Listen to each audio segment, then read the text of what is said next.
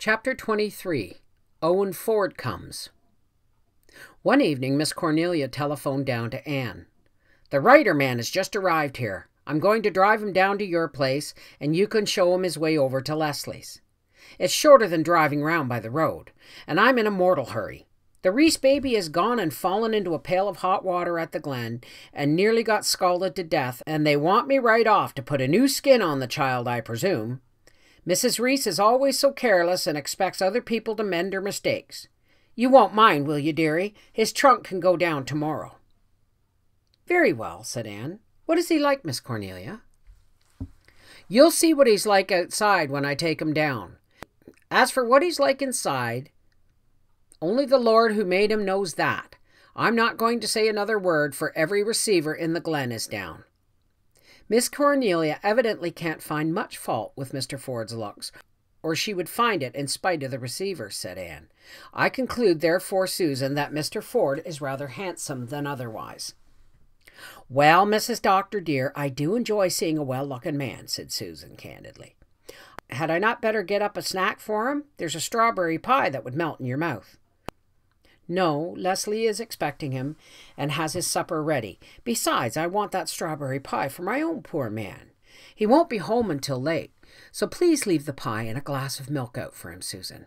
That I will, Doctor dear. Susan is at the helm. After all, it is better to give your pie to your own men than to strangers who may be only seeking to devour, and the doctor himself is as well looking a man as you often come across. When Owen Ford came, Anne secretly admitted, as Miss Cornelia towed him in, that he was very well looking indeed. He was tall and broad shouldered, with thick brown hair and finely cut nose and chin, large and brilliant dark gray eyes. And did you notice his ears and teeth, Mrs. Doctor dear? queried Susan later on. He's got the nicest shaped ears I ever saw on a man's head. I am choice about ears. When I was young, I was scared that I'd have to marry a man with ears like flaps, but I need not have worried, for never a chance did I have with any kind of ears. Anne had not noticed Owen Ford's ears, but she did see his teeth, as his lips parted over them in a frank, friendly smile.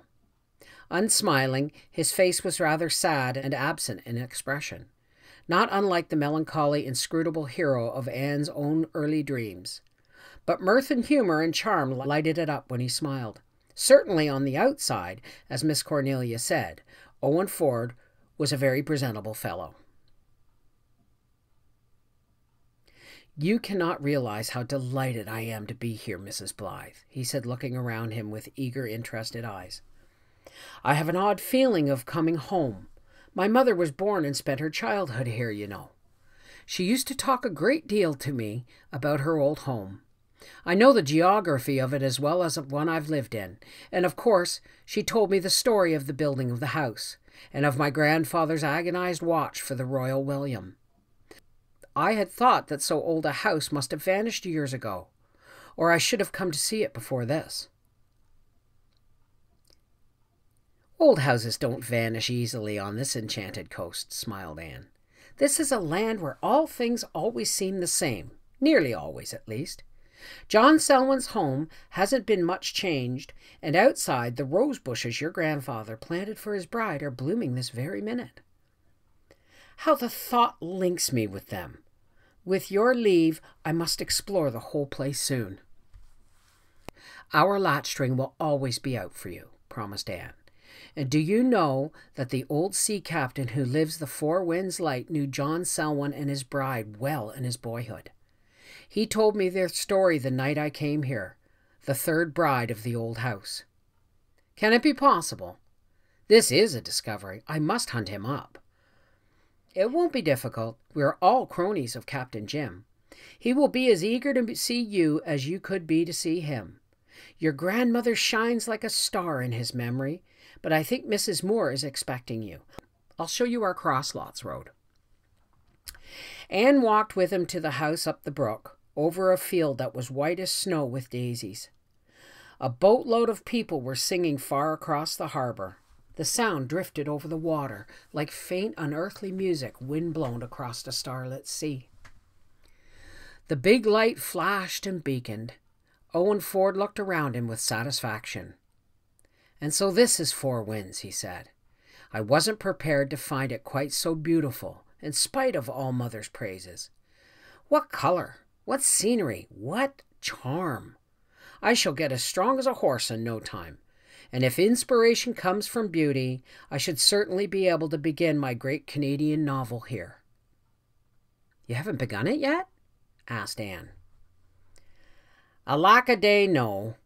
I've never been able to get the right central idea for it. It lurks beyond me. It allures and beckons and recedes. I almost grasp it, and it's gone. Perhaps amid this peace and loveliness I shall be able to capture it. Miss Bryant tells me that you write. Oh, I do little things for children. I haven't done much since I was married, and I have no designs on a great Canadian novel, laughed Anne. That is quite beyond me. Owen Ford laughed too. I dare say it is beyond me as well. All the same, I mean to have a try at it some day if I can ever get time. A newspaper man doesn't have much chance for that sort of thing. I've done a good deal of short story writing for magazines, but I've never had the leisure that seems to be necessary for the writing of a book. With three months of liberty, I ought to make a start, though, if I could only get the necessary motif for it, the soul of the book.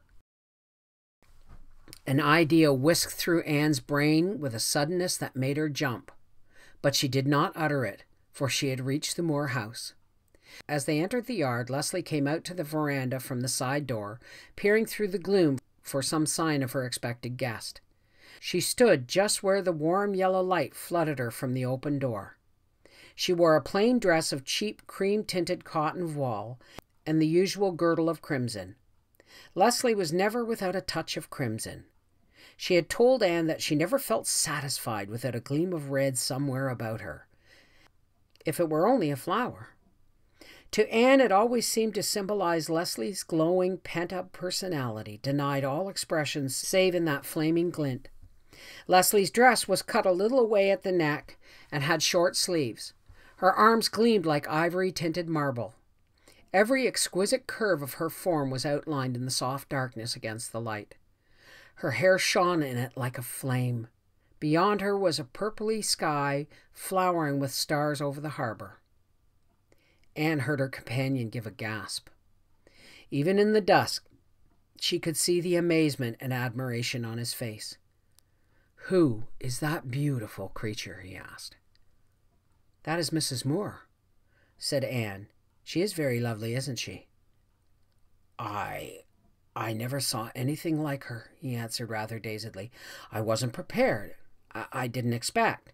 Good heavens, one doesn't expect a goddess for a landlady. Why, if she were clothed in a gown of sea purple with a rope of amethyst in her hair, she would be a veritable sea queen. And she takes in boarders. Even a goddess must live, said Anne. And Leslie isn't a goddess. She's just a very beautiful woman, as human as the rest of us. Did Miss Bryant tell you about Mr. Moore?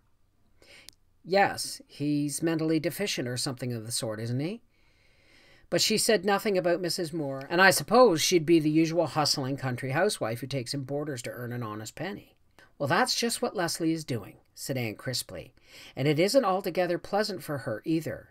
I hope you won't mind Dick. If you do, please don't let Leslie see it. It would hurt her horribly. He's just a big baby and sometimes a rather annoying one. Oh, I won't mind him. I don't suppose I'll be much in the house anyhow, except for meals. But what a shame it all is. Her life must be a hard one. It is, but she doesn't like to be pitied. Leslie had gone back into the house and now met them at the front door. She greeted Owen Ford with a cold civility and told him in a businesslike tone that his room and his supper were ready for him. Dick, with a pleasant grin, shambled upstairs with the valise, and Owen Ford was installed as an inmate of the old house among the willows.